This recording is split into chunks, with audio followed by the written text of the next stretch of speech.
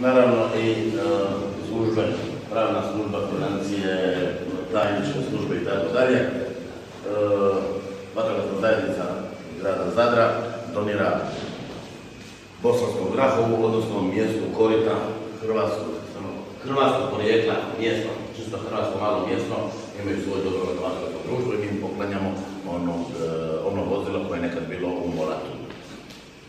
Ja im želim da im to vozilo posluži, da nemaju puno intervencija, ono da bude trebalo da im bude ovaj, od pomoći. Želim im puno uspjeha u daljem radu i vi ste uvijek dobro došli u grad Zadar, rekao sam, osim ove postoje, imamo postoje u Gažnici gdje imamo jedan skroman apartman, ali bilo puno od vas i od vaših, ako zatreba za spavati, nije nekakav luksuz da uvijek možete doći. Sad bi ja najprije, e, najprije ćemo potpisati, a onda ćemo uručiti ključeve.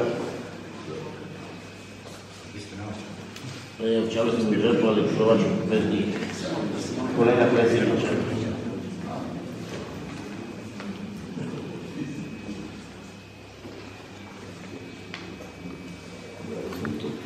Ovo pravi službu puno primjera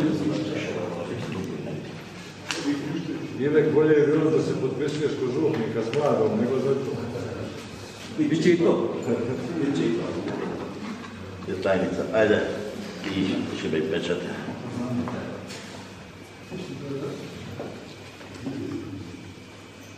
To vi sve službeni. Ovo je ozbiljna stvar. Da. Još kaže,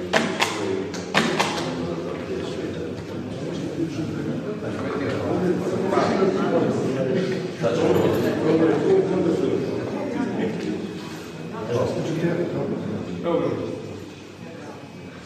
Ministra njih toga s sobom, vi se bojite žensko voditi s sobom.